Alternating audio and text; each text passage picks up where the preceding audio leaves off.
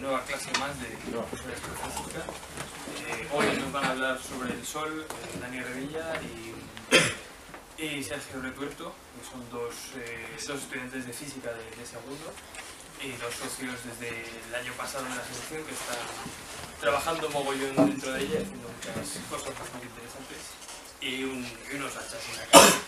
Y nada, les dejo con, os dejo con ellos que son muy fáciles. Pues en primer lugar, buenas tardes a todos.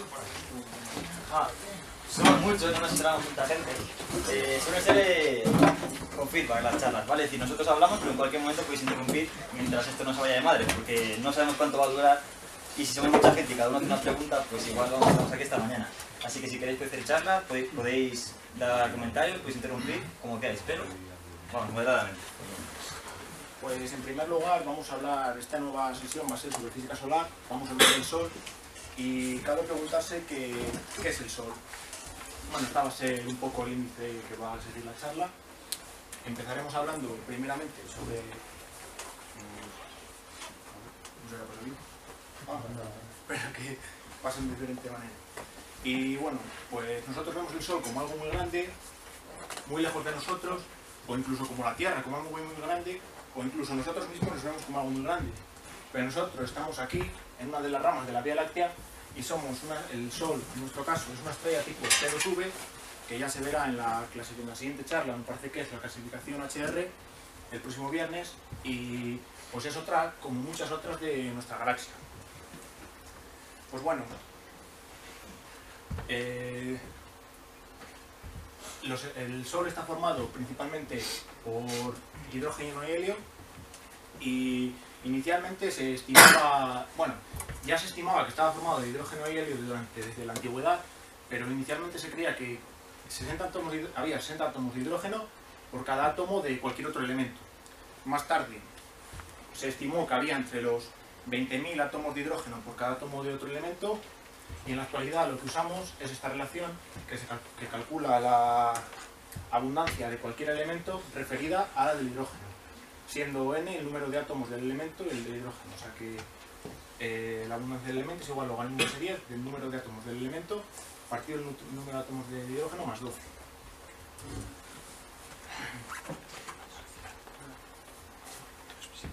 Pues eh, mediante esa fórmula se ha hecho la última recopilación de la abundancia de los elementos del Sol, que es esta. Y aquí podemos ver claramente como la mayor parte de átomos son de hidrógeno y de helio.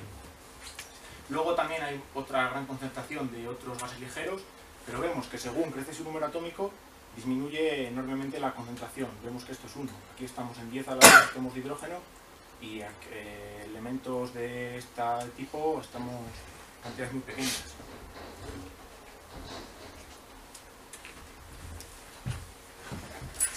Pues bien, eh, la energía del Sol se produce pues de acuerdo a la ecuación, la conocida ecuación de Einstein, que pequeñas variaciones en la masa producen grandes variaciones en la energía, como ya veremos más adelante en esta clase de procesos. Pues bien, el proceso por el que produce la energía Sol es el proceso conocido como la cadena protón-protón, que a esto se debe el 98,2% de la energía producida del Sol, y es la siguiente. Un átomo de hidrógeno se fusiona con otro átomo de hidrógeno, dando un átomo de deuterio más un positrón, un electrón positivo, un neutrino, y todo esto produce una energía de 1,4 megaelectrón Aquí es donde vemos que se pone de manifiesto la, eh, esta ecuación que hemos dicho antes, que pequeñas variaciones en la masa producen grandes variaciones en la energía, puesto que fusionamos, eh, se fusiona un átomo de hidrógeno y otro átomo de hidrógeno, dando lugar a un átomo de deuterio, el átomo de deuterio está formado por un electrón, un protón y un neutrón.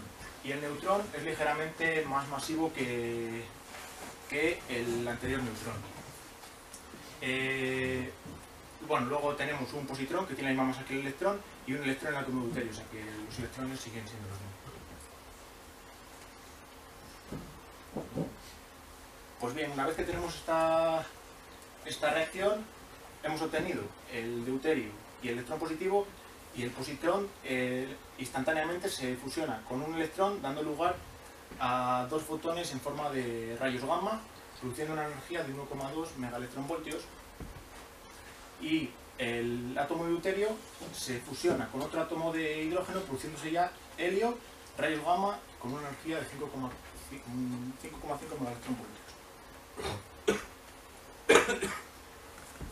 Eh, vale, antes ya hemos obtenido helio, pero hay otro método por el que se obtiene helio, pero que este es muy poco probable que suceda, puesto que son necesarias tres, eh, que estén tres partículas en el mismo sitio, en el mismo instante o muy cerca, que son dos átomos de hidrógeno y un electrón, que dan lugar al, al átomo de deuterio y el neutrino. Y ese átomo de, el átomo de deuterio se fusiona luego con otro átomo de hidrógeno igual que antes para producir helio, rayo gamma y los 5,5 megaelectronvoltios de energía que hemos visto antes. Pues vale, ahora ya hemos obtenido helio 3. Entonces, a partir de ahora pueden ocurrir tres cosas. La mayor probabilidad que ocurra es la cadena 1, que se llama cadena 1, vamos, que es que fusiona dos átomos de helio 3, dando lugar a un átomo de helio 4, otro átomo de hidrógeno, otro átomo de hidrógeno, y produciendo 12,9 megaelectronvoltios de energía. El siguiente proceso que puede ocurrir es la cadena 2, que es el, en torno al 8,9% de probabilidad de que ocurra, que en esta se fusiona eh, helio 3 con helio 4 y da lugar a berilio y a un fotón en forma de radiación gamma. Luego, ese berilio, eh, ese átomo de berilio se fusiona con un electrón y da lugar a litio ahora, más un neutrino. Y, y el átomo de litio se fusiona con otro átomo de hidrógeno dando lugar a dos átomos de helio 4. Es menos probable esta cadena que ocurra, puesto que son necesarias eh, temperaturas bastante más elevadas, mm, superiores o un poco inferiores a 23 kilokelvin. Y luego, finalmente, la última probabilidad que ocurra es la cadena 3, que es muy poco probable que esta sucede a temperaturas superiores a los 23 kK y lo que hace es fusionar un átomo de helio 3 con un átomo de helio 4 dando lugar a un átomo de berilio 7 más radiación gamma, igual que antes el átomo de berilio 7 le fusiona con un electrón y ahora da lugar a berilio 8 más radiación gamma y el a boro 8, perdona, y el boro 8 lo transforma en berilio 8 más un electrón más un neutrino. Entonces ahora ese berilio 8 ya se descompone en dos átomos de helio 4 igual que antes. Pero bien, bueno, esto es lo que hemos obtenido de cuatro protones o cuatro átomos de hidrógeno. Eh, hemos llegado a conseguir un átomo de helio 4, dos electrones, dos neutrinos y toda esta energía, 25,7 megaelectrones. Existe otro ciclo por el que se consigue la energía del Sol, vamos, se puede conseguir energía en estrella, que es el ciclo del carbono, pero suele, suceder, suele ser una reacción más importante en estrellas mucho más masivas. Este ciclo eh, le producen el carbono, el nitrógeno y el oxígeno. Y si habéis visto en el, en el gráfico de la, de la abundancia de los elementos, había más átomos de carbono, nitrógeno y oxígeno que de berilio, litio y borio, así. Y esto sucede porque estos átomos procedían de la nube interestelar donde se formó el Sol o de la producción anterior de estrellas más masivas.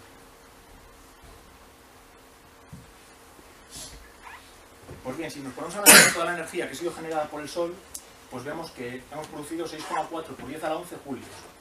Entonces, la luminosidad solar sabemos que son 10 a la 26 julios por segundo. Y para conseguir esta luminosidad serían necesarios quemar 600 toneladas, vamos, eh, sería necesario que reaccionaran 600 toneladas de hidrógeno por segundo. Entonces, podríamos pensar, ¿y cuánta energía se produce por unidad de masa? Pues podemos hacer el cálculo. El radio solar serían 6,95 por 10 a la 10 centímetros, 695.000 millones de kilómetros, me parece. Eh, entonces, la superficie sería 2 por pi por el radio, serían 6,07 por 10 a, la, 10 a la 22 centímetros cuadrados. Sabemos que el flujo de energía que produce el Sol son 6.278 julios por segundo por centímetro cuadrado, o sea que eh, la radiación total del Sol sería eh, la radiación que emite cada centímetro cuadrado de todo el Sol y sería igual a 3,7 por 10 a la 26 julios por segundo. sabiendo que la masa solar son 2 por 10 a la 30 kilogramos, pues vemos que se produce una cantidad de energía muy pequeña para por kilogramo de por kilogramo de sol, por así decirlo. Pero esto... ¿Qué ha pasado?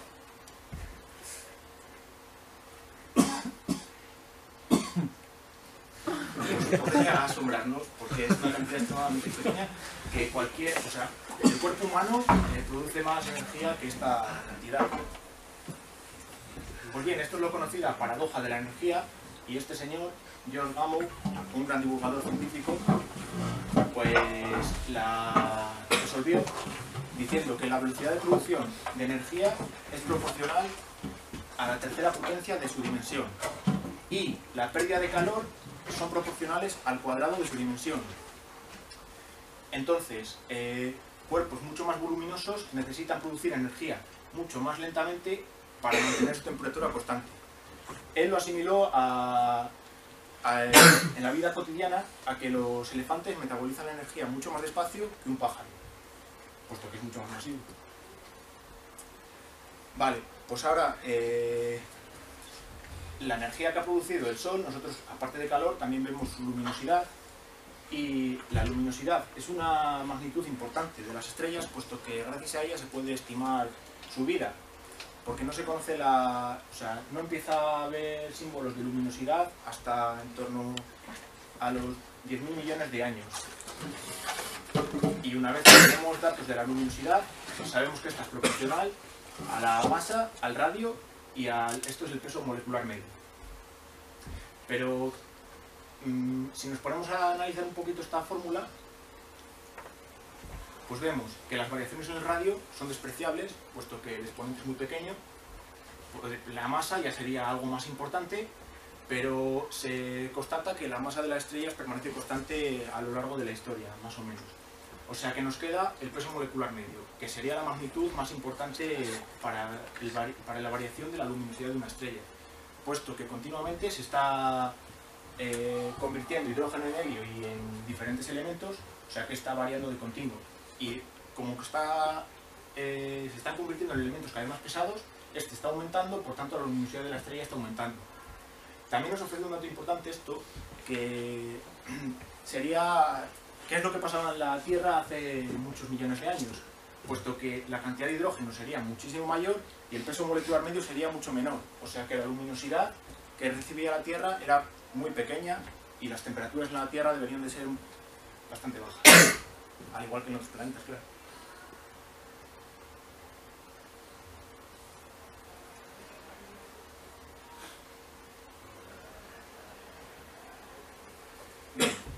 Pues otro fenómeno, también de transporte de energía, podemos decir, sería la convección.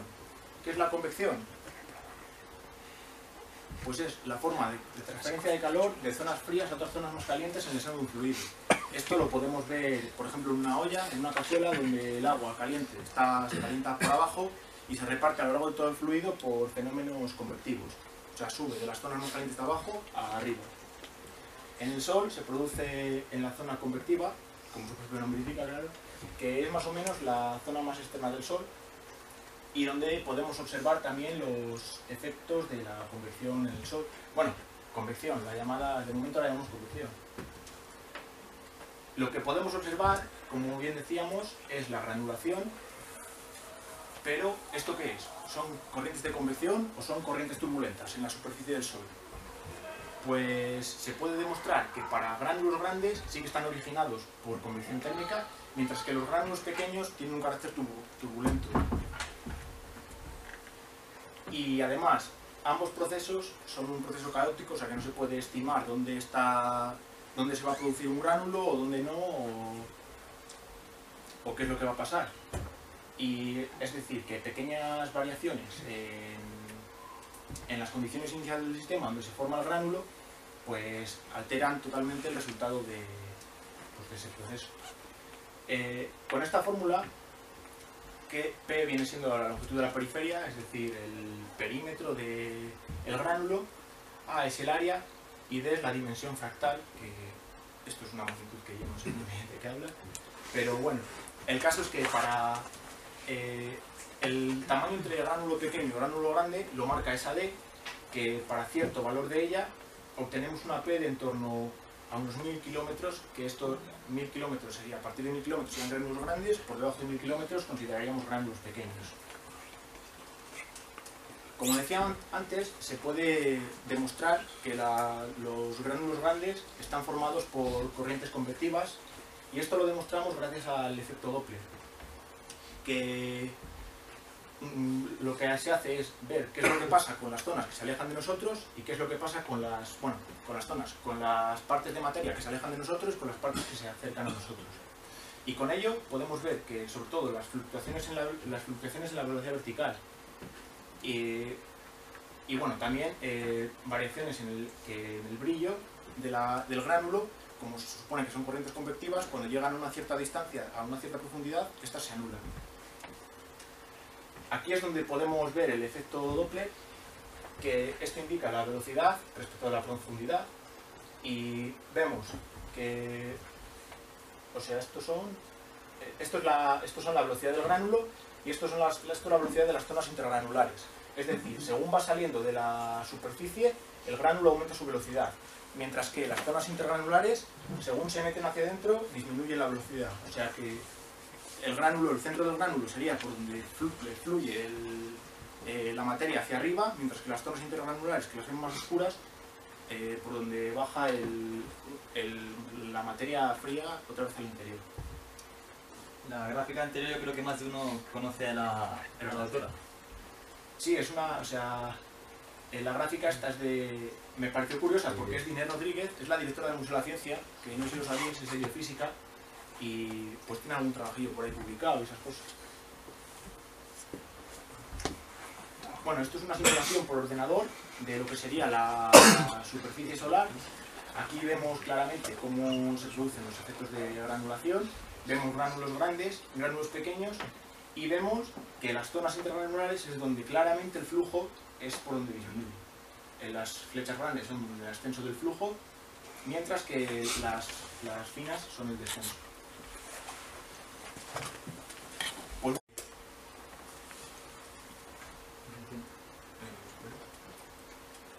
de la granulación, pero dura unas cuantas horas y aquí sí que se ve claramente cómo, cómo varía. Es que si, dura un minuto, pues no se ve. Bueno, puedo volver a dar. No sé si. No sé si se verá. El proceso dura unas cuantas horas, pero se ha puesto a cámara rápida. Abajo se ve el reloj. Esto no es un vídeo en, en tiempo real.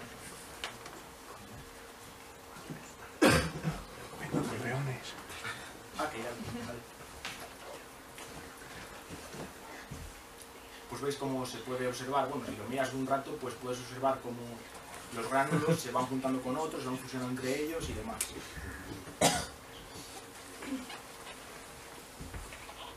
Y para acabar, uy, apaga el de luz, a ver si un poco mejor. Para acabar con lo que es la granulación, eh, un fenómeno bastante curioso son los gránulos explosivos, que son gránulos que se pueden detectar por el ennegrecimiento de la zona central y lo que sucede es que en pocos segundos se rompen en varios fragmentos. Aquí se puede ver que está el gránulo normal, es este del medio, que bueno, pues se va haciendo un poco más grande y a partir de aquí se empieza a ver que tiene algo negro en el medio, aquí está más fuerte, aquí más fuerte y aquí ya vemos que se han formado varios gránulos alrededor de él. O sea, y esto es una imagen de unos segundos, ¿eh? O sea que no, porque supongo que será un vídeo y son imágenes, son los fotogramas del vídeo. Y bueno, pues ahora vamos a ver qué más así. Bueno, ya que hemos visto ahora, ahora hemos visto lo que pasa dentro del Sol, cómo se produce la energía, ahora vamos a ver qué pasa con toda esa energía. Cómo se, cómo se transmite al exterior y qué fenómenos causan que nosotros con nuestros telescopios podemos ver. El Sol, ya hemos visto aquí el núcleo, la zona convectiva, y ahora vamos a ver las tres capas exteriores, que se llaman fotosfera, y la- las burbujitas esas que estaban es lo que constituye la, la fotosfera, ¿vale? Son burbujitas. Fotosfera, cromosfera y corona. En primer lugar, la fotosfera es la, es la que vemos nosotros a simple vista. Es, es, por decirlo de alguna manera, la superficie del Sol. Y en ella es donde se dan las manchas solares. Con las manchas solares me voy a enrollar un poquito porque digamos que por ahí es donde se manifiestan todos los fenómenos de- del Sol, salen a través de ello. Entonces, si indagamos un poquito en, en ellas, igual podemos descubrir qué pasa con el Sol. Esta es la, respuesta, la pregunta y la respuesta que vamos a intentar solucionar, que es una mancha solar. Sus principales características son tres. A simple vista se ve, cualquiera que mira un- con un telescopio a, un- a una mancha, se ve que tiene un contraste con, el, con la fotosfera, porque es negra, ahí vamos a ver fotos, es negra en contraste con la fotosfera, con la superficie, es compleja. Eh, sí, claro, al telescopio cuando quieres mirar al sol hay que poner un filtro, no vale mirar tal cual, porque si no te quedas un poco torpe. Sí, eso es. Son complejas, es decir, no es un, no es un punto un punto solo, sino que cuando metes más aumentos, cuando metes mayor abertura en el telescopio, cuando puedes verlo mejor, se ve que tienen cosas raras, que no es una, una circunferencia perfecta, y que son inhomogéneas, que no solamente es un punto negro, sino que tiene una umbra, una penumbra y más cosas. El contraste.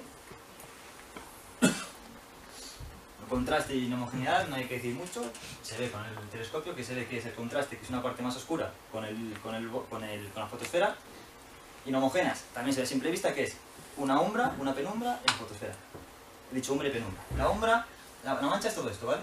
Todo lo que sea más oscuro en, en contraste con la, con, la, con la superficie solar. La parte negra se llama umbra. Y la parte más grisácea se llama penumbra. La naturaleza de la penumbra, a simple vista podemos pensar que, que es lo mismo, pero cuando los telescopios se van haciendo, estas fotos han sido tomadas con este telescopio, que es el telescopio sueco de La Palma, de un metro, y bueno, es importante porque estas fotos no se pueden tomar tal y como con un telescopio cualquiera. Eh, ha sido determinante el usar este telescopio porque al principio se veían manchas solares y se veía, se veía que era una parte negra, una parte gris y la parte blanca que es la fotosfera. Pero cuando metes más caña, te das cuenta que la penumbra son como gránulos alargados. Es un gránulo, pero está alargado. Entonces se puede pensar, es un gránulo alargado, ya está, vale. Pero cuando metes más chicha, en la, en la penumbra, como no hemos conseguido meter todavía demasiada chicha, sabemos lo que pasa, pero no sabemos lo que pasa.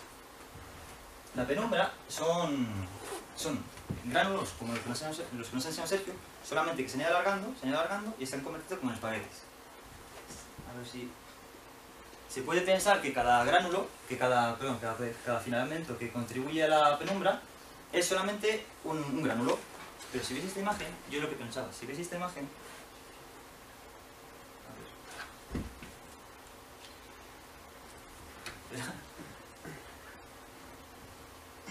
Esta imagen de super alta resolución de una mancha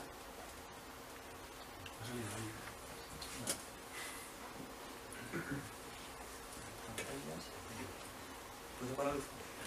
Si veis esta imagen de alta resolución de una mancha, podemos ver la, la, granula- la granulación, que nos enseña Sergio en un vídeo, la penumbra, que son un montón de filamentos, y si os dais cuenta, que esto yo me di cuenta fijándome en los poros, que son manchas pequeñas, si os dais cuenta, cada filamento no es solamente una- un gránulo, sino que tenemos un gránulo grande, y que como si se tratase de algo blandito, como un, un Blandy Blue, se va cerrando sobre sí mismo y se generan ahí como unas estrías. Es decir, cada, cada filamento de la penumbra es una propia mancha que se está fragmentando. Y no cada, cada, cada, filamento no es una mancha única. Aquí lo podéis ver mejor también.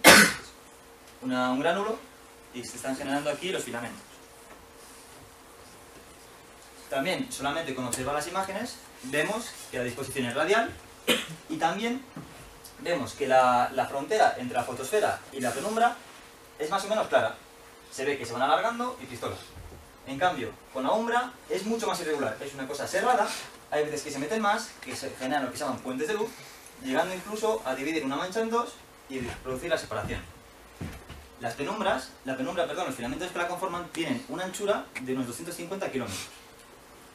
Y la temperatura en, en, en comparación con la fotosfera es de 5400 Kelvin y la fotosfera es de 6000, es decir, hay unos 600 grados de diferencia. También hace falta decir que como vemos que es más oscura, si tú coges el brillo de la fotosfera y la comparas con el de la... Si coges el brillo de la penumbra y lo comparas con el de la fotosfera, vemos que el de la penumbra equivale al 75% de la, de la fotosfera. Es como decir, coges un fluorescente, coges el 75% del brillo y eso es la fotosfera. Vale, eh, Sergio antes ha comentado también que en, un granu- en, una granulación se producen flujos ascendentes y descendentes. Como la, como la penumbra está formada por gránulos, cabe pensar que también, que también ocurre lo mismo, que hay flujos ascendentes y descendentes. En esta imagen, en color rojo, se ven los flujos descendentes. Y en esta imagen, que es la misma, la misma mancha, solamente que con el efecto Doppler. El efecto Doppler es lo que ha dicho Sergio, que es tú cuando ves un coche acercarse, lo ves mucho más agudo, ¡mium! mucho más agudo que cuando se aleja.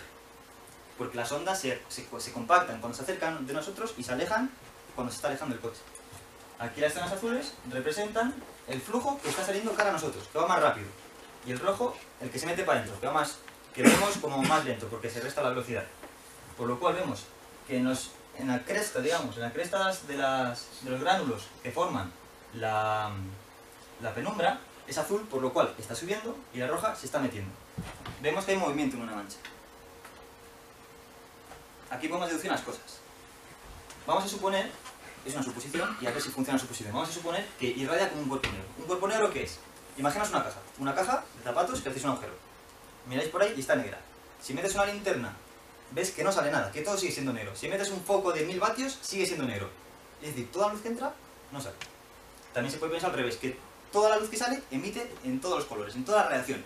Microondas, gamma, radiación, eh, radio, todo.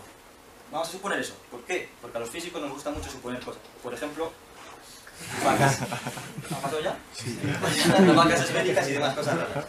Pero como vamos a ver, funcionan. Estas suposiciones parecen de locos, pero funcionan. Esto es, vamos, un cuerpo negro que emite en todas las longitudes de onda, ¿vale? También vamos a apoyarnos en Lady Bien, que es una cosa tan simple. La longitud de onda máxima, una onda, se caracteriza por ser una onda. Como una cuerda, pues una onda electromagnética es una onda. Y aquí nos está diciendo que la longitud de onda esta máxima, que viene a ser cuán larga es esta, es igual a un número, a una constante, partida la temperatura del cuerpo que la genera. Es decir, si tenemos un cuerpo muy caliente, muy caliente, muy caliente como el Sol, tenemos aquí un número muy grande y como es una fracción, el resultado va a ser muy pequeño. Es decir, va a, va a tener una longitud de onda cortita. ¿Qué quiere decir que tenga una longitud de onda cortita? Que es tiene mucha energía, que su frecuencia va a ser así. A ti si te atiza muy rápido te da más caña que si te atiza un poco a poco. Con la misma fuerza. ¿vale? Es decir, a mayor temperatura, longitud de onda más corta, mayor frecuencia. Longitud de onda más corta quiere decir colores azules, ¿vale? No voy a explicar por qué, pero longitud de onda quiere decir colores azules o colores más oscuros, en lo que vamos a ver ahora. Y ley de Stefan Boltzmann también nos vamos a pasar en ella, que lo único que nos dice es que la temperatura de un cuerpo, de dos cuerpos, están relacionadas con su intensidad. Es decir, cuanto más brilla un cuerpo, mayor es su temperatura. Cuanto menos brilla, menor es su temperatura. Como en las ocasiones, porque es que está muy bien que te digan esto es así porque sí, o que te pongan un numerito, aunque te creas la ecuación, que por lo menos puedes demostrarlo más o menos. Ahí está la diferencia entre divulgar ciencia y popularizar ciencia. Popularizar ciencia es enseñar cosas y divulgar ciencia es enseñar esas cosas y demostrar un poquito por qué. Que como es un curso de astrofísica, estamos dando un poco de caña por eso. Vale, la ley de bien, la ley de Stefan Boltzmann. Entonces, vemos que el brillo depende únicamente de la temperatura de la estrella, o de la temperatura de dentro de la estrella, cada región. Vamos a ver que una mancha solar era más oscura, más oscura que toda la estrella. ¿Eso qué quiere decir? Que si es más oscura, tiene una menor longitud de onda, por lo cual la temperatura tiene que ser menor tenemos una conclusión. Que la temperatura de una mancha solar es menor que la de la fotosfera. Es importante. La ley de Stefan, Boltzmann nos lo viene a corroborar. La intensidad que captamos en una mancha solar, la luz que captamos es menor, es menor que la de la superficie solar, por lo cual su temperatura también tiene que ser menor. Entonces, sabemos que la temperatura de una mancha solar es menor que la de la fotosfera, la de la superficie, por lo cual al igual que ocurre con las masas de, masas de aire en la, atmósfera, cuando tenemos una masa caliente y una masa fría, la masa fría tiene mayor presión que la masa caliente, por lo cual las masas de aire eh, de mayor presión tienden a ir hacia donde están las de menor presión. Eso se debería ser diario. Por lo cual aquí debería pasar lo mismo. Debería pasar lo mismo de que, de que las zonas de mayor presión, de mayor temperatura, perdón, que son las de la fotosfera, deberían de solaparse deberían de entrar en las de menor temperatura, que es una mancha. Pero esto no ocurre. Ves una mancha hoy, la ves mañana, y fuera de lo que haya evolucionado, no colapsa. Se mantiene estable. ¿Por qué? En un principio, se postuló que, se postuló que en la mancha solar, como era más fría, no había convección. Los, las burbujitas estas que que subían y bajaban y que transportaban el calor, como es negra, dijo, pues no hay. No hay. Y ya está. Por lo cual, si es más fría, no tiene que haber, tiene que colapsar. Pero como no colapsa, puede haber dos... Puede haber dos, dos hipótesis. Una, que no irradia como un cuerpo negro, es decir, la hipótesis que hemos hecho de la vaca esférica está mal. U otra, que existe, otro- eh, que existe otro mecanismo que empuja la mancha y que sostiene la mancha para que no se cierre la mancha. Vamos a ver que este segundo es el bueno. Vale. Eh, Hale demostró en su día y observando con el Sol, con, y con espectrógrafos y con magne- magnetómetros, magnetógrafos, magnetógrafos, demostró y vio que las manchas solares estaban relacionadas con un campo magnético fuerte. Es decir, si imaginamos el Sol como un... Si imaginamos el Sol como un imán gigante, vemos que las manchas solares son como pequeños imanes, ¿vale? Y el resto, pues nos podemos olvidar de ello, pero vemos que las manchas solares son como pequeños imanes. Es lo que vio Hale. Luego, Birman, el hombre cerveza, vio que también disminuía la convección de las manchas solares, pero no se anulaba. No se anulaba la convección. Si dais cuenta, en la diapositiva anterior,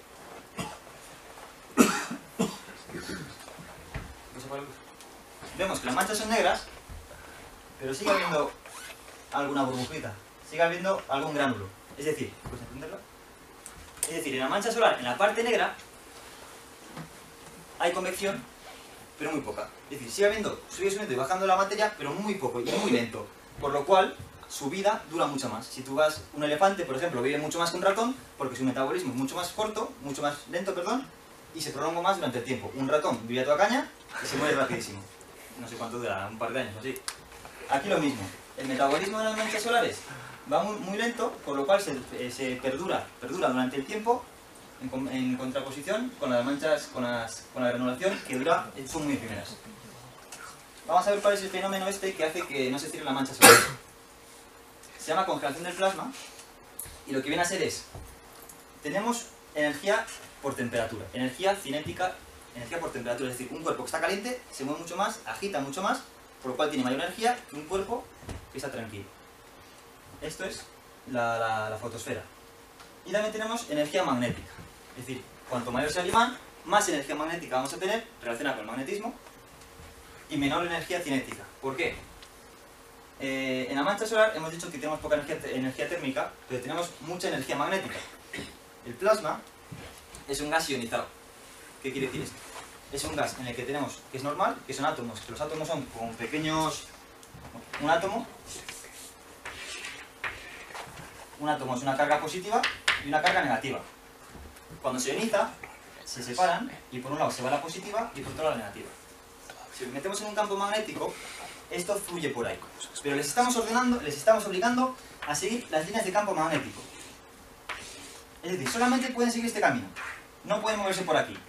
¿Eso qué hace? Que no puedan vibrar tanto y están obligadas a seguir unas direcciones que en este caso saldrían hacia nosotros, por lo cual aumenta su cantidad de energía magnética y disminuye su temperatura y su energía cinética relacionada con la temperatura, por lo cual tienen menos temperatura, se ven más oscuras y es nosotros el contraste que vemos, por lo cual la mancha es negra. Eh, debido, debido a, que, mm, a que la temperatura baja, pero aumenta mucho el campo magnético, el campo magnético vemos que es el causante, eh, la presión, debi- la presión, eh, presión del gas exterior. La presión del gas exterior es la que empuja las líneas rojas, la presión del gas interior es menor, pero tenemos el campo magnético, la presión magnética, que es la que empuja para afuera para que no se cierren. Y por último, para referirnos a las manchas, vemos que las líneas de campo magnético en, las manchas solares no salen al loco, sino que tienen una predisposición en función del radio, es decir, en el centro vemos, sí, la componente horizontal. Eh, aquí cuanto más rosa sea el color, quiere decir que mayor es el campo magnético, y cuanto más oscuro sea, menor. Vemos que en el centro, la componente horizontal, es decir, la componente perpendicular a- la superficie solar, es la superficie solar, la componente tangencial a la mancha tiene mucho, es decir, tiene muchos Gauss, es muy intensa. En cambio, en el centro no es nada intensa. Por el centro de la mancha solar no sale nada, no sale el campo magnético horizontal. Vemos que sale vertical. Este es el mismo dibujo, pero para el flujo vertical. De lo cual deducimos que si tenemos que si vemos un plano y tenemos una mancha solar, en el centro, por el centro, las líneas de campo magnético van a ser verticales y en el borde se van a tender a tumbar. Es lo que vemos en esta representación y lo que vemos en esta. ¿Puedes apagarle más la luz? Vale. A ver. El U, la, de- la parte U y la parte Q representan el campo magnético representan el campo magnético perpendicular a la superficie, es decir, el que va tumbado, ¿vale? Como veis, con el transcurso del tiempo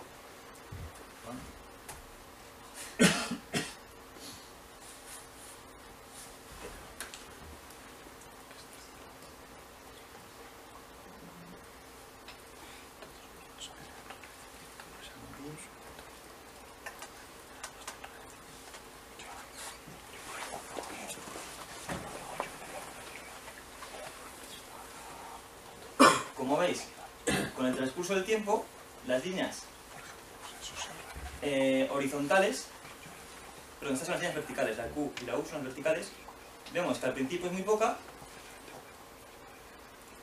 perdón, media, que al principio es muy poca, estas son las horizontales, las horizontales hay un montón de ellas, porque la parte central de la mancha ocupa menos espacio que, la- que las periferias.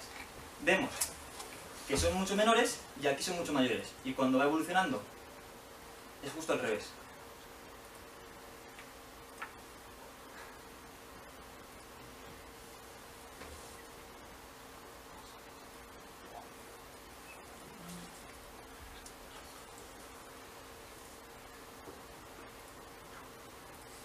La luz. Y esto es lo que vemos aquí. Por el centro salen muy verticales, pero por los bordes se van sumando poco a poco.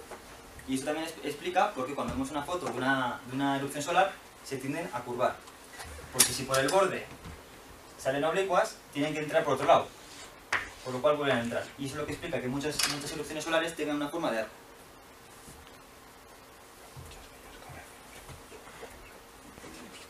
Ahora vamos a ver los poros, las manchas, que hemos estado hablando, vamos a ver cómo evolucionan.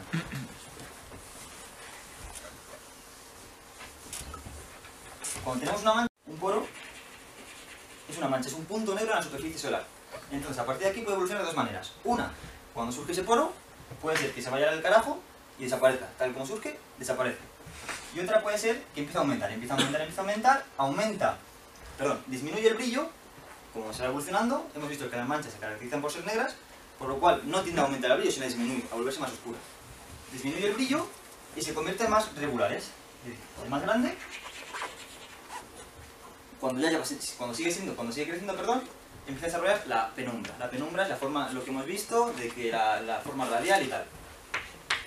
Entonces, desarrolla una penumbra.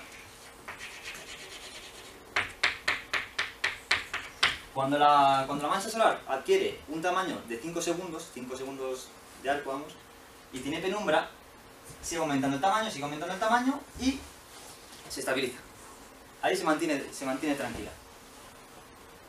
Cuando se mantiene estable, en- bueno, eh, al- crece, crece, crece, se mantiene estable y llega a un punto en el que permanece durante unos cuantos días estable y se empieza a, a- a decaer. No puede seguir evolucionando, por lo cual empieza a decaer. Y aquí tiene dos procesos. Se puede desintegrar una mancha o puede volver a reducirse. Si se desintegra, es que se parte por la mitad, por ejemplo. Se parte por la mitad y cada una de esas dos manchas tiende a hacer su vida y se van reduciendo, se van redu- reduciendo hasta no quedar en nada. Pero también puede coger y esa misma mancha, ella sola, tiende a disminuir. Disminuye y desaparece por completo. Bueno, esta parte es la que se llama fragmentación y esta se llama involución. Ahora vamos a pasar a la siguiente capa. La siguiente capa es la cromosfera. Está la fotosfera, cromosfera y corona. La cromosfera es la, par- la parte que observamos con los telescopios en la longitud de onda H alfa. Tenemos abajo en el, en el unos cuantos, cualquiera puede mirar por ellos. Y se caracteriza porque a simple vista no podemos verla. Porque es muy tenue, es como, como la atmósfera terrestre, digamos, es muy tenue y la fotosfera la, la, eclipsa, digamos. Tiene tanto brillo que la eclipsa y no la podemos ver. Por lo cual solamente hace falta quitar toda la luz y quedarnos solamente con la longitud de onda del H alfa. ¿puedes poner la luz? Y se caracteriza por, ser, por ver la- el Sol como una bola de fuego. En ella, al igual que en la, en la, al igual que en la fotosfera, teníamos las manchas, que eran negras y eran características a ella, en la cromosfera tenemos también manchas, tenemos unos filamentos que se llaman protuberancias. Si se ven en el borde, en el limbo solar, aquí se ven, las protuberancias son erupciones de masa, de masa solar, es decir, plasma que sale para arriba como cañonazos, cuando sube se enfría, y por eso se ve, por el contraste del frío caliente, se ve como hilos negros. Y si lo vemos en, en contraste con el, fondo, con el fondo espacial, como el fondo es negro, esto está frío, la protuberancia está fría, pero sigue caliente, por lo cual se ve roja. Y podemos ver pues como que tiene una. como tiene, como que tiene crestas el sol y aquí como que tiene hilillos.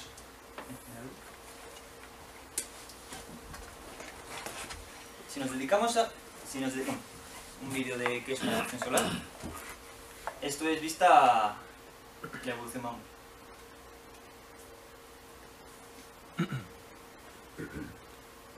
Aquí se ve una erupción pequeñita y aquí se ve que entran y salen. Que tienen forma, que tienen forma así como rizos, que tiene forma como rizos, que es lo que explica, no, se le va a pasar ya. Tiene forma de rizos que suben y bajan, por lo que hemos explicado antes de que la línea en la, en la mancha se tiende a curvar y tal. Las manchas solares em, parece ser que están asociadas a las protuberancias. Sí, pero no. Sí, ¿por qué? Porque muchas veces observamos una protuberancia que sale de una mancha. Es decir, sale el chorraco de una mancha. Pero hay otras veces que no salen de ahí. Vemos que no hay ninguna mancha y de repente te, te sale el chorro. Entonces, ¿por qué? Pues bueno, las manchas, a lo largo de un ciclo solar, que luego lo explicaremos, tienden a aparecer a una latitud de unos 40 grados. Si este es el Sol, a medida que va avanzando el ciclo solar, las manchas solares aparecen en latitudes de unos 40 grados y cuando va avanzando se tienden a acercar al, polo, al, ecuador. En cambio, las muchas manchas, muchas protuberancias que se llaman protuberancias polares, no hacen eso. Vale, las que están ligadas a las manchas solares sí, aparecen por aquí los filamentos y se van acercando. Pero otras no. Otras lo que hacen es, a medida que avanza el ciclo solar, suben para arriba. Y dices, ¿por qué? Pues tú ves que el ciclo avanza y van cayendo para abajo y aquí empiezan a aparecer empiezan a aparecer protuberancias. Por lo cual, esto nos demuestra que las protuberancias no están realmente ligadas a las manchas solares. Algunas sí, pero otras no. Es decir, como que tienen tendencia a estar ligadas a ellas, pero no siempre. No siempre, porque vemos aquí que ahora mismo que estamos, eh, acabamos de bajar del máximo solar, vemos que todas las manchas se concentran en la zona ecuatorial, pero que arriba también hay protuberancias. Este es el diagrama de mariposa, que lo desarrolló Spore, y vemos que esto es un ciclo, este es otro ciclo, este es otro ciclo, este es otro ciclo solar. Vemos que al principio del ciclo las manchas aparecen a unos 30 grados o incluso unos 40, algunas, y a medida que va avanzando el ciclo, a medida que va avanzando el tiempo, se van acercando al ecuador. Y así siempre, siempre, siempre. En cambio, vemos esta gráfica, que es de los de, Cantabria, que, que tiene ahí un telescopio de 40 centímetros y que es muy bueno, que por cierto en el eclipse del 20 de marzo igual se puede ir ahí a observarlo y observar por ese telescopio que es un aparato, un aparatejo, vamos. Y aquí podemos observar, estas son en un periodo de tres años las protuberancias observadas en el Sol, las protuberancias. Y vemos que muchas de ellas se concentran entre los 0 grados, que es el ecuador, y los 40, perdón, entre los 40 y los 60, es decir, en esta banda. A medida que va avanzando el ciclo, también observamos que tiene una tendencia hacia arriba. ¿Veis? Cada vez la columna de manchas va subiendo, es decir, que a medida que avanza el tiempo también van apareciendo por aquí arriba. En cambio, las manchas solares siempre tienden a la baja, siempre tienden a la baja. Con estas dos gráficas demostramos que las manchas solares no están relacionadas con los filamentos, o al revés. Y ahora va a ser que va a hablarnos de la última capa, que es la más externa, que es la corona. Pues ya hemos hablado de las dos, son tres las capas más exteriores del Sol y ahora vamos a hablar de la capa más externa, que es la corona. Esta es una capa de gas, de muy, tiene una densidad muy muy pequeña y además es la más enigmática de las tres, puesto que pasa de 4000 Kelvin, en la que está la cromosfera, a un millón de Kelvin. Pero esto contradice las leyes de la termodinámica, porque no se puede pasar de una zona más fría, no se puede transmitir el calor de una zona más fría a otra más caliente. ¿Y qué es lo que pasa? Aquí se respetan de la termodinámica. Pues bien, una explicación de este fenómeno eh, puede ser que la, eh, en la corona está formada por flujo de campo magnético también, por ese campo magnético también circula gas ionizado y ese campo magnético puede producir eh, vibraciones que a la vez generan vibraciones en el plasma, el cual calentaría la, la corona y es a lo que se debe esa alta temperatura. Es la zona más caliente también desde el núcleo solar. Observarla es bastante difícil porque es muy tenue y mucho más comparada con el brillo de la fotosfera o de la cromosfera incluso, pues es apenas insignificante. Entonces, donde se, suele, donde, se suele observar es durante los eclipses, cuando es un eclipse total, que la luna tapa completamente el disco solar, eh, se puede ver eh, perfectamente, por aquí hay una foto, esto es durante un eclipse, una foto, y aquí podemos ver la corona y pues, las estructuras que tiene la corona. Eh, otro tipo, otra forma de verlo también es con unos telescopios especiales, que son los llamados coronógrafos, que son un telescopio normal, pero colocamos aquí un circulito que lo que hace es eclipsar el Sol, o sea, eclipsa el disco solar y solamente vemos los alrededores. De esta manera nos permite ver también, eh, pues igual que un eclipse de luna, pues lo hacemos nosotros artificialmente. Estos son un coronógrafo, bueno, estos son imágenes de un coronógrafo, también es un coronógrafo un poco especial, porque está en el espacio, es del telescopio espacial SOHO, de la ESA, de la NASA, de colaboración con la ESA, y pues también aquí vemos cosas bastante peculiares, que son las llamadas banderolas eh, coronales. Esto está producido, por, como ya hemos dicho, por ionización de las líneas de campo magnético, pero líneas de campo magnético a grandes escalas, puesto que las que antes hemos visto eran muy cerca de la, del disco solar. También vemos que según se van alejando, eh, se, van, se van quedando, o sea, son como un hilo, pongamos, que según se aleja se va haciendo plano, y hagas el plano y vuelve otra vez a entrar en forma con volumen. Vamos, aquí sería una lámina y dependiendo de la energía que estas tengan, también a veces oímos por las noticias y por ahí que hay explosiones de eyecciones de masa coronal, que lo que pasa es que cuando las líneas estas de campo son muy fuertes, se rompen y la materia sale expulsada hacia el espacio. Bueno, pues eh, en esta también podemos ver eh, las banderolas, pero mucho más tenues. También es una imagen más pequeña.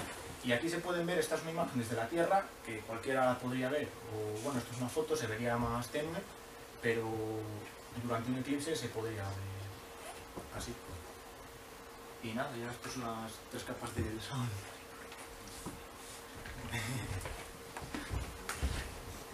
Es difícil de empezar a explicar el Sol por una parte, porque como todo está relacionado, no sabes empezar por el ciclo solar, explicas el ciclo solar, antes explicas cómo se forma el ciclo solar o qué conlleva, así que hemos decidido hacer este orden y ahora, en último, en último lugar, explicamos qué es el ciclo solar, por qué se genera el ciclo solar, ya que el ciclo solar es el que, el que empuja, el que genera todo, todo el resto de fenómenos. Vale. Shaw, eh, hace en el siglo XIX creo que fue, descubrió que el, el, Sol tiene un ciclo de 11 años. Él tiene unas observaciones y descubrió que las manchas solares aparecían y desaparecían con una periodicidad de 11 años. Eh, no una mancha solar, sino grupos de manchas solares aparecen y desaparecen con un periodo de 11, de 11, sonales, de 11 años. Perdón. Carrington, posteriormente, descubrió la rotación diferencial.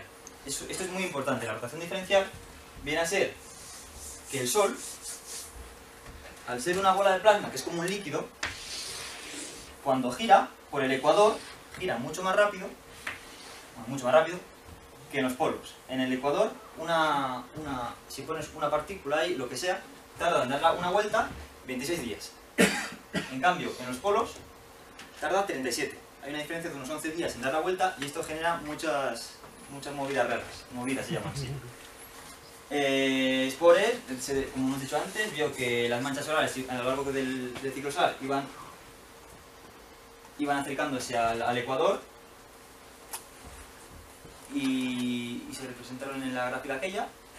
Y Hale es el que hizo un descubrimiento crucial, que viene a ser que durante los 11 años que dura un, periodo, un ciclo solar, la primera parte del ciclo solar, las manchas, eh, a ver, tienen una polaridad. Las manchas eh, conservan su polaridad.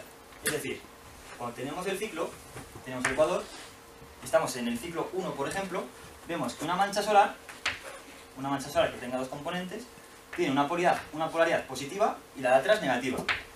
Esto lo vemos en estas fotos. Esta imagen es de hoy. Este es el sol hoy. Vemos que hay una mancha, hay otra mancha, son grupos diferentes, son manchas diferentes. Vemos que la mancha de abajo tiene aquí manchitas pequeñas que forman su grupo. Y vemos que este, la imagen en gris es el magnetograma. Es decir, en vez de coger una cámara de fotos y sacar una foto al sol, cogemos un aparatejo y vemos cómo es su campo magnético y lo representamos en una imagen. Vemos que la mancha solar tiene un color negro y su parte posterior tiene un color blanco. Esto, interpretado, quiere decir que esto es una polaridad y esto es otra polaridad. Por ejemplo, polo norte y polo sur. No solamente se asocia eso con las manchas, sino con cualquier zona activa. Vemos que aquí, aquí no hay ninguna mancha, pero aquí tenemos una polaridad y aquí otra. Si os dais cuenta, el Sol se mueve hacia allá y vemos que en, en el hemisferio norte la polaridad es negro-blanco y el hemisferio sur es blanco-negro. Están intercambiadas. También vamos a ver, igual luego os puedo enseñar una foto, de que las zonas activas pueden ser activas sin que haya manchas solares. Ahora mismo, por ejemplo, los que habéis visto las fotos del Sol esta semana anterior, veis aquí un filamento del copón y no hay ninguna mancha. Eso refuerza lo que he dicho antes de que las manchas no están asociadas a los filamentos, sino que es una zona activa. Eh, bueno, claro, también, eh, la polaridad dura 11 años, es decir, cuando pasan 11 años, se da la vuelta al- se da la vuelta al asunto y el negro se pone aquí y el blanco se pone aquí. ¿Cómo se explica esto?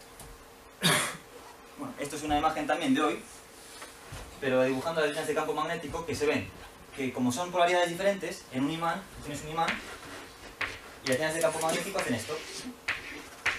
Pues aquí lo mismo. Aquí tenemos un polo norte y un polo sur, da igual, polo norte, polo sur, polo sur, norte, no es absolutamente igual. Vemos que entran por un sitio y salen por otro. Incluso en las zonas que no hay manchas, entran por un sitio y salen por otro.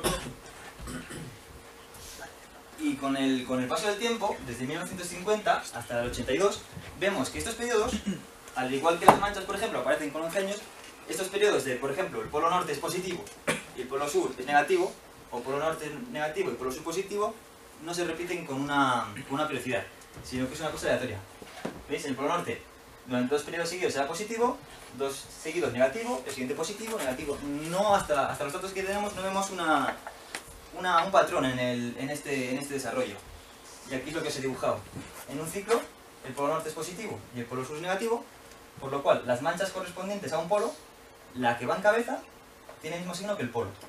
Y la que va en, cabeza en el, en, el, en el hemisferio opuesto también es correspondiente a la misma del polo. Y la posterior es al revés. En cambio, cuando cambiamos de ciclo, es justamente al revés. Y vamos a explicar por qué ocurre esto. Hay que introducir el término de teoría del dinamo, un dinamo. Eh, esta teoría no está muy desarrollada y es un saco, un cajón desastre. ¿Que no entiendes algo del sol? Lo metes la teoría dinamo. Y no es coña, es cierto. ¿No sabes qué pasa algo? Teoría dinamo. No sé qué, teoría dinamo. Y hay un montón de ellas.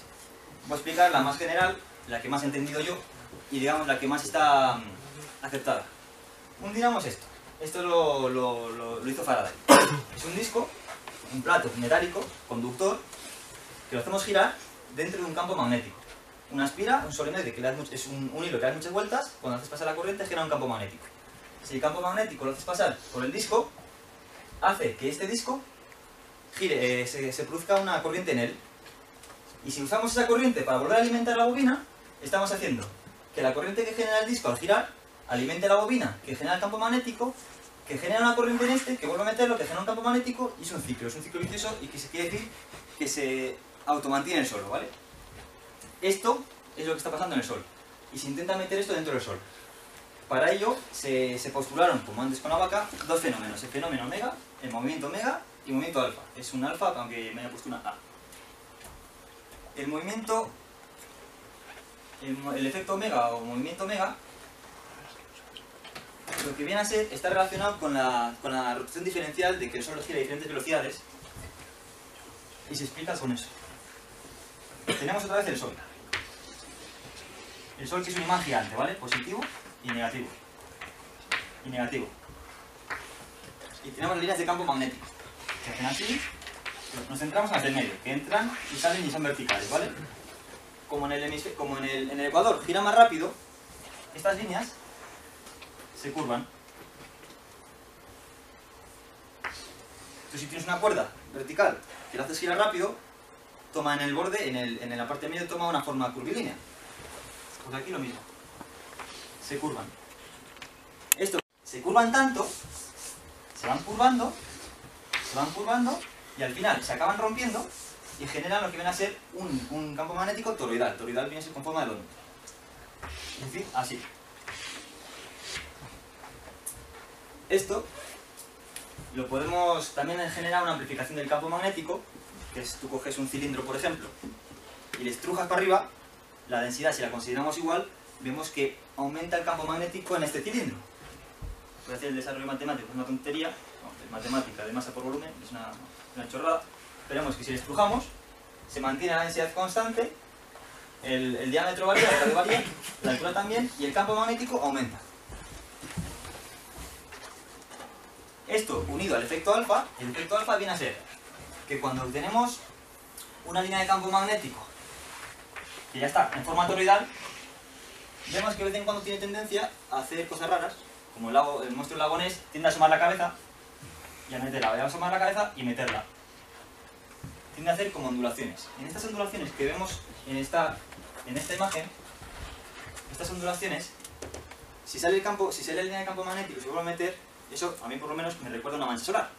Una mancha solar, como hemos visto antes, que tiene una parte en el magnetograma blanca y otra negra, tiene un polo norte, un polo sur, un polo sur, perdón, un polo positivo y un polo negativo. Un polo positivo por donde sale la línea de campo magnético y un polo negativo por donde entra. Y aquí lo mismo, y aquí lo mismo. Esto, unido a que cuando tenemos las, los tubos de convección, cuando el, plasma caliente está subiendo, como es una, el sol es enorme, están subiendo, hay un efecto que se llama efecto Coriolis. El efecto Coriolis es ese efecto que mal aplicado es el que os dice que en los, en los lavabos o en los bidés, en el hemisferio norte el, agua gira en un sentido y en el hemisferio sur gira en otro. Eso es mentira, pero cuando lo aplicas a grandes escalas o cosas muy grandes, es verdad. Por lo cual, cuando tenemos una columna de, plasma subiendo, hace que gire. Si hacemos que gire, se generan magnetic loops que vienen a ser eh, loops, eh, bucles, bucles magnéticos. Y estos, en esta imagen, está, está solamente encima de la superficie. Pero si lo trasladamos al borde, tenemos aquí un bucle, tenemos aquí otro bucle, y aquí tenemos otro bucle. Si cogemos y le sumamos aquí todos, y tenemos el campo magnético hacia arriba, vemos que la componente general vuelve a generar otra vez el campo original del Sol. Pero, ahora os hago el dibujo, que es este dibujo, se ha dado la vuelta. Mirad. Es que esto es muy curioso.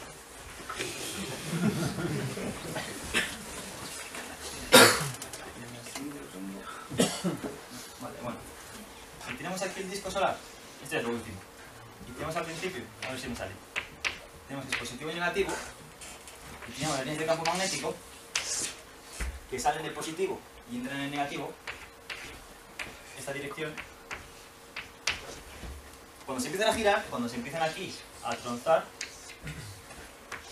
y se tronzan tanto que generan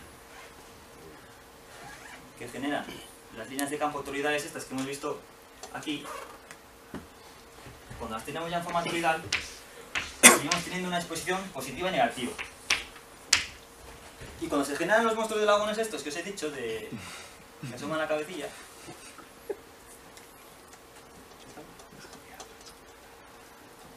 cuando asoman la cabecilla positivo, negativo salen en un, en, un, en un imán por donde sale el, por donde sale el campo magnético es la zona positiva y zona negativa, positiva y negativa. Se sigue manteniendo la polaridad general, ¿eh? Vamos al siguiente punto, que es manteniéndose aún la, disposición general, se generan los loops, los magnetic loops, los bucles, los, los bucles magnéticos, y si nos fijamos en el borde, vemos que es positivo o negativo, y lleva esta, forma, esta dirección hacia abajo, vemos que el campo magnético a ver, hacia arriba, hacia abajo, hacia arriba. ¿Hacia igual? Bueno. Así vemos que tienden a salir de aquí y meterse aquí. Eso me acuerdo. No, no, no, no, no, Espérate. No, porque salen en el positivo y se meten en el negativo. El dibujo sería al revés. Se irán apuntando hacia abajo Por lo cual, las componentes generales de los bucles magnéticos hacen... Ah, coño, me dibujo bien.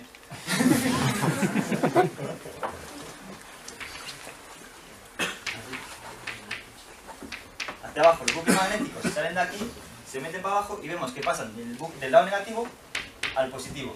Pero esto no puede ser. ¿Esto qué quiere decir? Que se ha invertido la polaridad.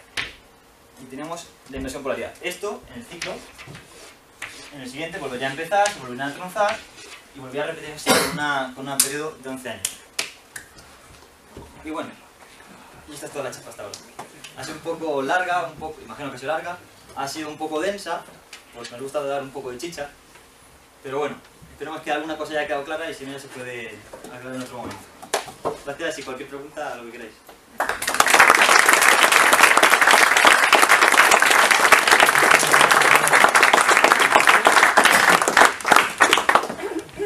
¿Alguna pregunta? Cuando hablabas del campo magnético, de, la- eh, de las partes del campo que se van hacia arriba y las que se van hacia los laterales, ¿cómo somos capaces de, de diferenciar eh, esos campos? ¿Cómo somos capaces de ver, digamos, las líneas de campo diferenciadas entre las verticales y las horizontales? Me parece que eso es con, con el magnetógrafo, con el magneto, magnetograma, ¿cómo se llama? El aparato que magnetógrafo, es. Es con magnetógrafos y con el desdoblamiento de las líneas. Me, efecto que es- me parece que es con el efecto Cima. Pero no estoy muy seguro. ¿Dónde está? Aquí. Aquí. ¿Esta es la que dices? Eh, decía, sí, en esta parte decía sobre todo el vídeo que ponías de, de la evolución de las líneas. Este. Este, sí, sí. Pues yo creo que es con el, o con el desdoblamiento de las, de las líneas, por el efecto Cima, que alguno que esté en cursos superiores me lo pueda verificar. Y, si no, no lo sé, es es con un magnetógrafo, seguro, con, el, con un magnetógrafo, seguro, pero no sé cómo. Vale.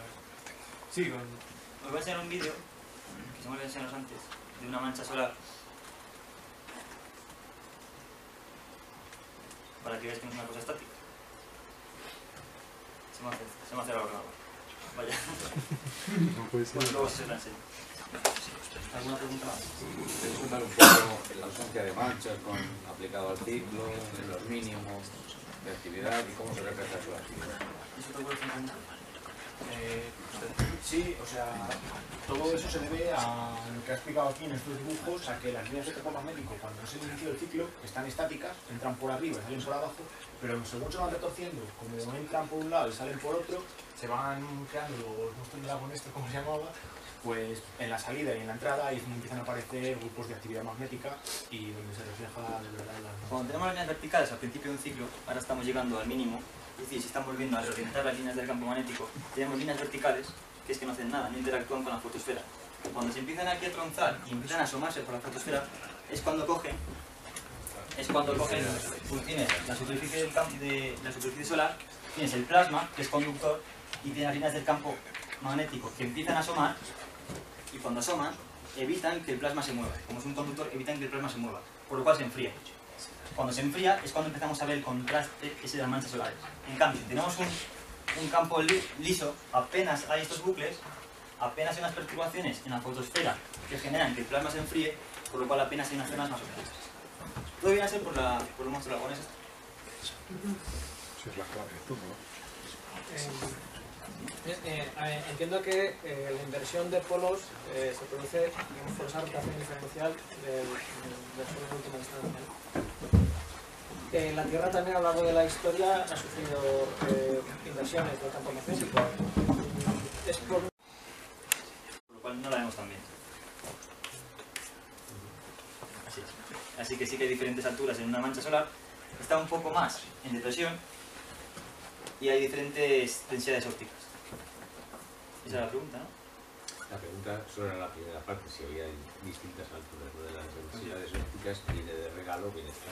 Y también, entre las diferentes alturas también están relacionadas la fotosfera, por ejemplo, hemos dicho que una mancha tiene una, una umbra, una umbra, una penumbra y también existe lo que se llama superpenumbra. La superpenumbra no es visible a simple vista, se observa con, con los telescopios de H alfa y viene a ser pues, una superpenumbra. no se ve tal y como burbujas alargadas, pero se ve una cierta, este, un cierto estiramiento. Y esta es una mancha.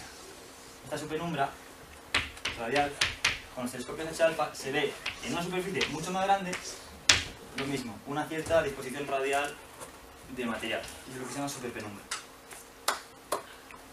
Y yo creo que ya está. ¿Algo más? Vale. Muchas gracias por haber venido.